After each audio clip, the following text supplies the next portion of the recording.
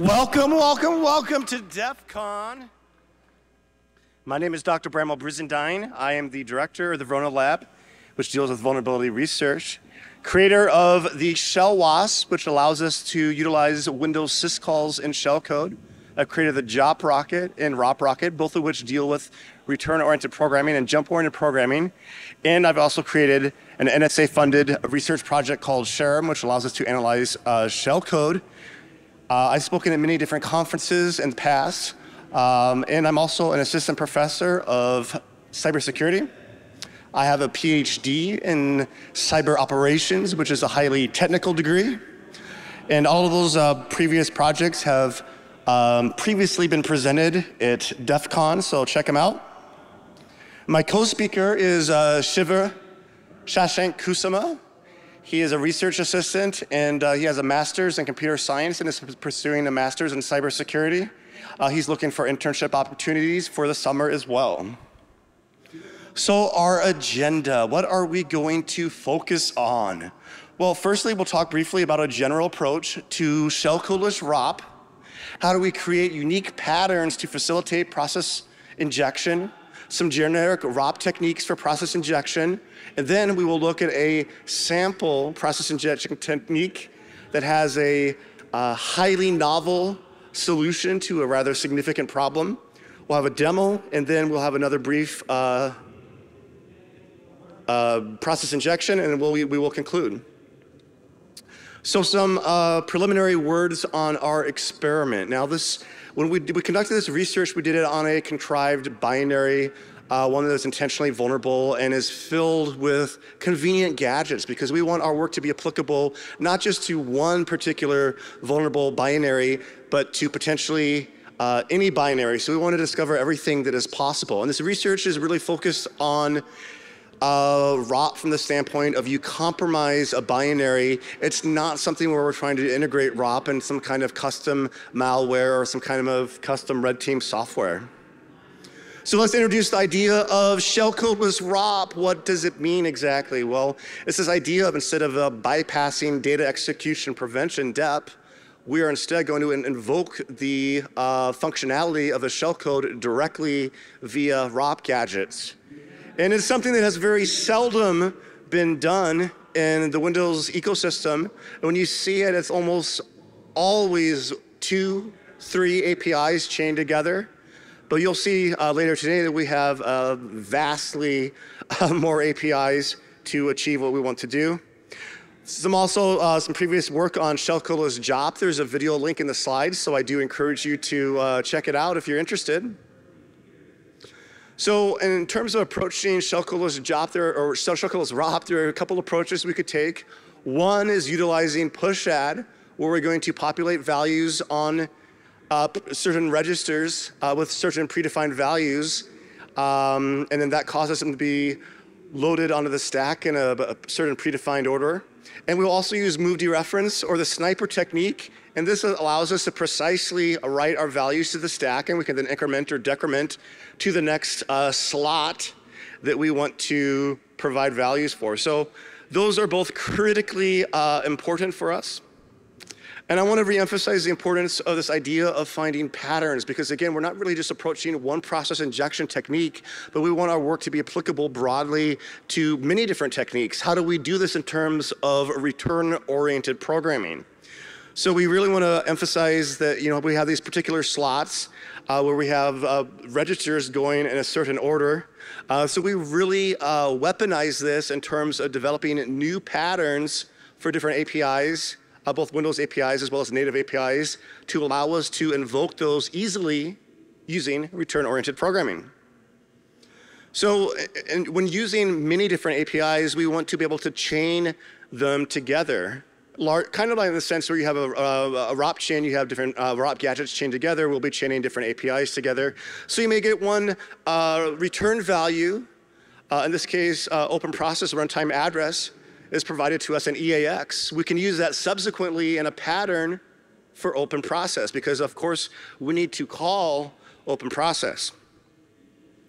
So a large part of our research is really focused on generating a lot of these different types of patterns. And actually, we've de developed more than 150 unique patterns to provide a lot of opportunities. Um, We'll talk more in depth about some of them and we'll give some examples. But historically, uh, some of the tools that have done this have been things like uh, Mona, Mona, you know, of virtual alloc, virtual protect, and you have a couple patterns. So it's not a significant number of patterns.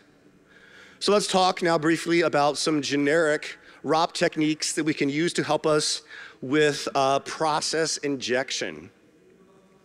So one is the idea of using function output, using that function output as a way to, um, to be a parameter. So git proc address and load library often go hand in hand, and they're very familiar and well known.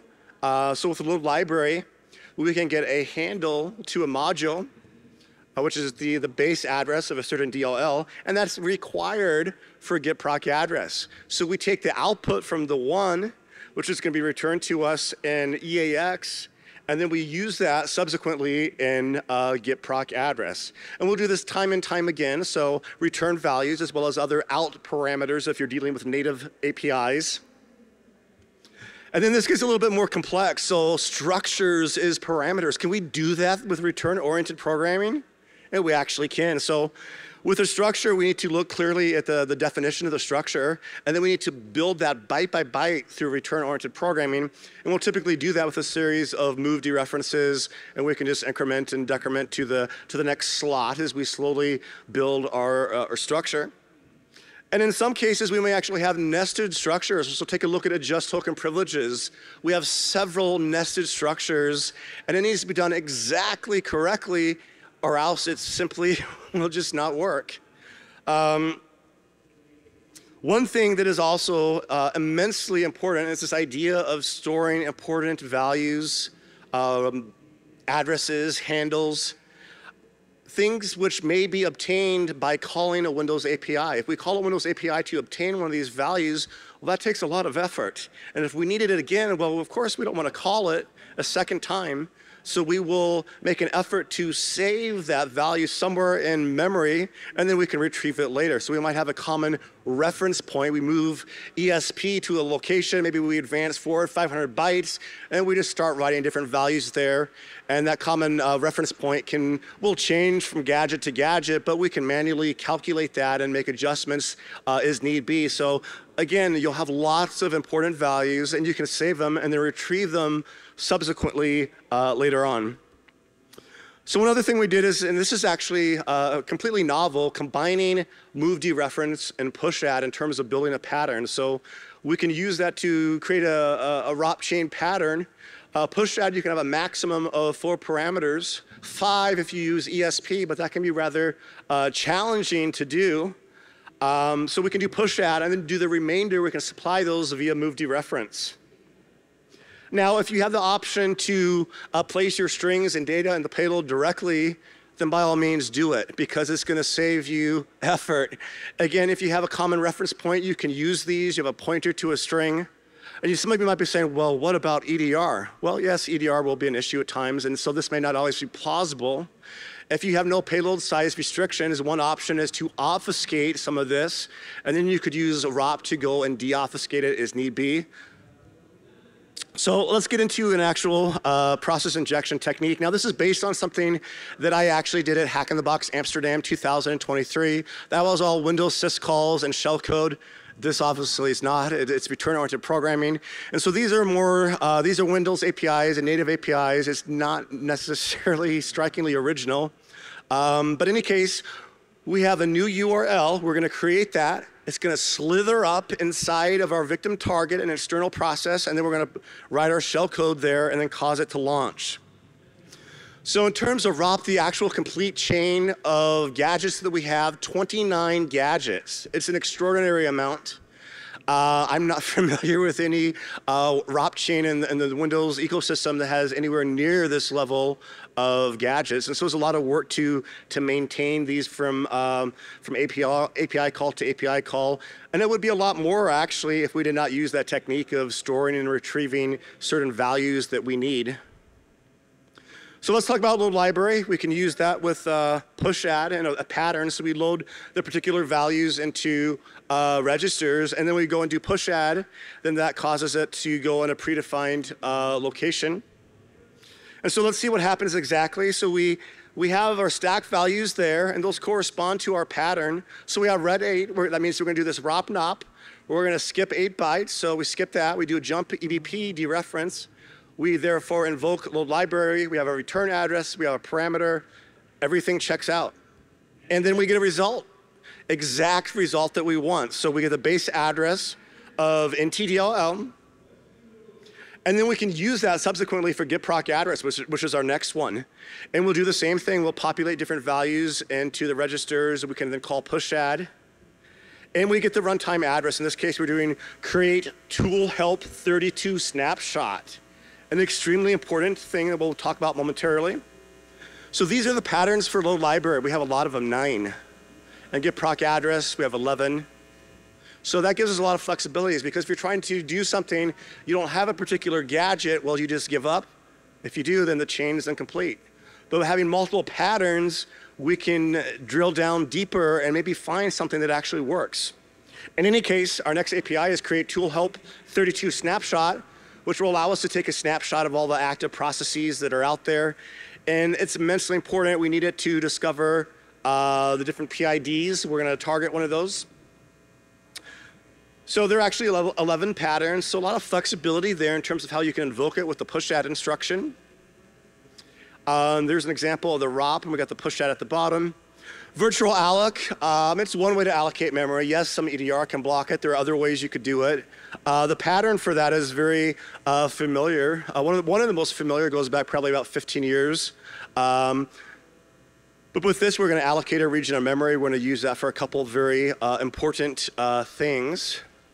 One of which is to build the process entry 32. The process entry 32 is where we're going to go in and check our PID, and we're going to check our uh, string. So the first thing is going to be process 32 first. It's going to kick everything off. It's going to initiate the whole uh, process. So how we're going to do that? Uh, first, we actually need to build the structure. So we can go ahead and build the structure via ROP and our move dereferences. Most of it are no bytes, so it's relatively simple. We have a DW size. Uh, it's an arbitrary value, so you can make it whatever you want. And then once we're done, we get a pointer to that. We supply that pointer as the parameter. So all of that work, and we just get a pointer to that. So again, the idea of being able to uh, dynamically locate something in memory and use that is kind of like a pointer can be very useful. And then the, the patterns for process 32 first and process 32 next are actually interchangeable. So one of the biggest challenges is this idea of string comparison. How do we do that with ROP? Well, the gadgets are not really very common, so that can be very uh, problematic. We need to identify a specific process, otherwise you really can't proceed forward. So you're kind of at a, an, uh, you can't really go forward without this. So we came up with a solution. We're gonna build our own custom function in memory. It's an enumerate process function, and we're actually writing the raw assembly. So remember we made uh, writable memory with virtual alloc. We can write our code there. You could do it other ways as well. And so this will cycle through process 32 next. It can do it hundreds of times. It'll loop until it finds the exact uh, string VU player. We can supply that. And then once it does that, it'll go ahead and exit out. So how do we write that? Well, we simply just compile it. We can then write our bytes to memory using the move dereference technique one by one until they're all written. Make sure the code is executable, and there are multiple ways in which you can do that. And then we need to supply the appropriate values, so things like our HP snapshot, our, our VU player string, uh, dereference process 32 address.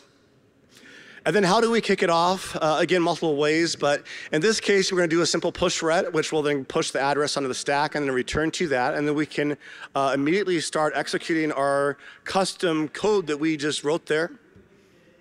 And so that'll invoke process 32 uh, repeatedly until it finds our particular PID. In this case, we have VU player.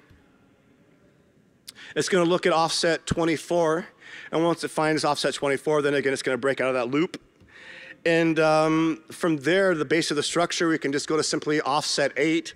Offset 8 will then hold the PID. We can capture that PID.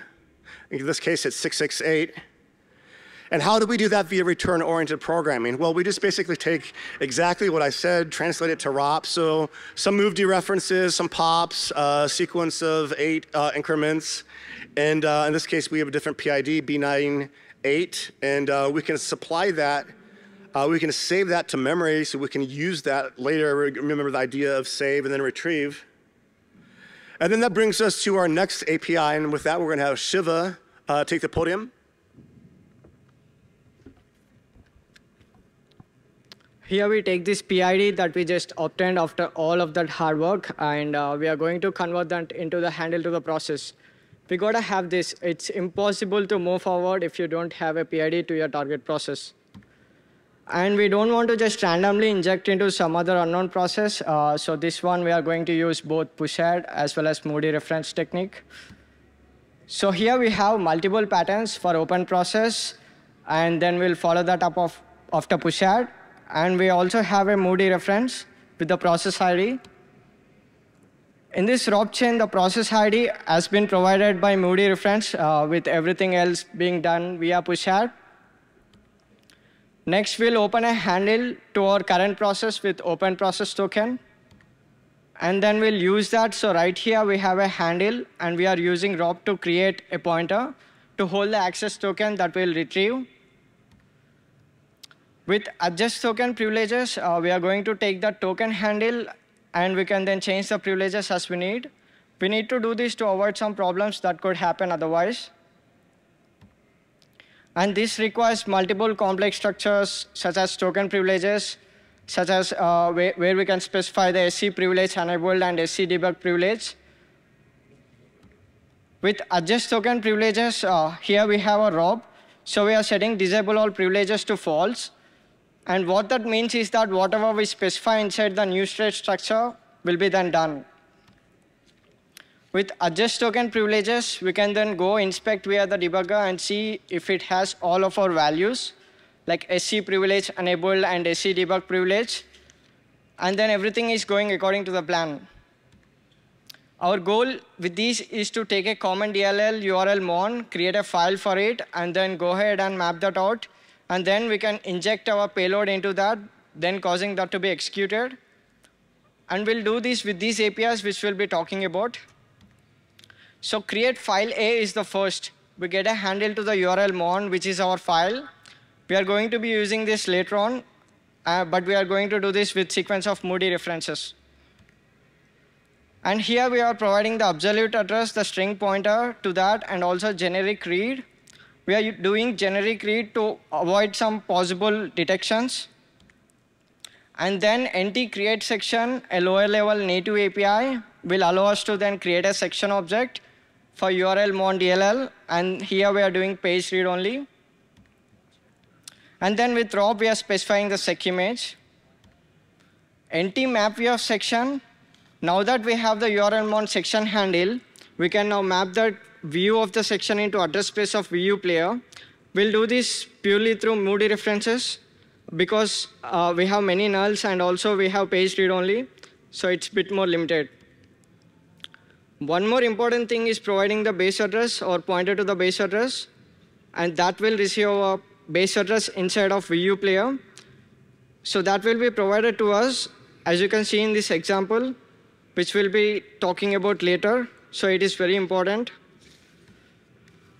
Virtual Protect EX will then allow us to change the target DLL URL mon to RWX. And so we are going to do this with sequence of mood dereferences because remember we had limited permissions for it. And so we'll get the handle to the VU player as well as the base address that we just retrieved. And then once it's done, we'll have the page execute read write. Here is the ROP where we can provide the pointer to the base address we then go and dereference that and we'll pull the base address out of that. And then we do the mood reference. Write process memory allows us to inject the shellcode into the process memory of VU player. We are doing this via pushadd as well as mood references, which you can see right here, so pointing to the shellcode up there, and also providing the size. Same thing here, we, are, we have the shellcode and the size, and then the remaining parameters with pushadd.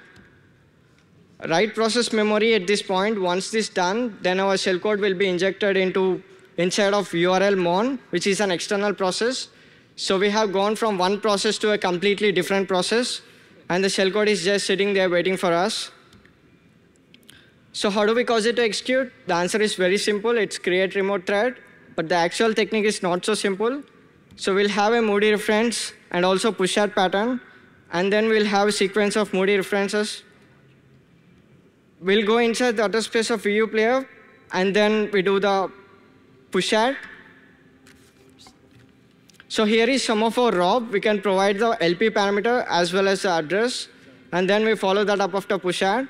And finally, with create remote thread, our injected shellcode will execute. We have achieved a goal. Let's do a demo. We start the things with create help 32 snapshot, and we have been given a handle. Let's write the enum process function to memory byte by byte. We invoke the function using push thread. Now we are inside the function, special function that we created. And let's check the process entry. Let's see what we have as the first entry. We have system. Let's move forward until we find our desired PID.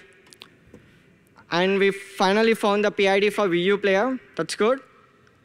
We'll keep moving forward. And we'll do the create file A. We'll get a handle from create file A. Let's verify what we have.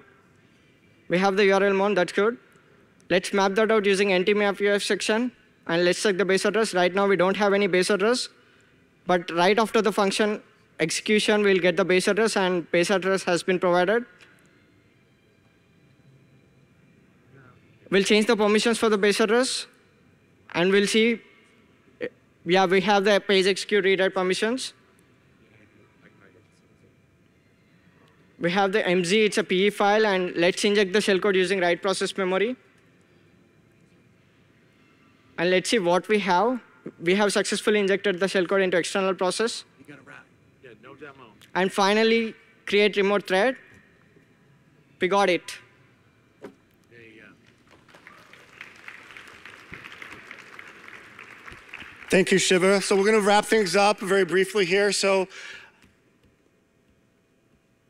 I want to say uh, our, you know, our goal is not to enumerate all process inject, injection techniques. We've seen talks like that before, but we really want to provide a methodology in terms of how we can do that with ROP and focus on the practicalities. We want to provide a novel concept of building a new enumerate processes function purely via ROP, which can be extendable to other process injection techniques, and then create uh, a rich set of patterns that we can utilize for that purpose. Uh, with that, we'd like to thank you and uh, invite you to check out the, the ROP Rocket tool.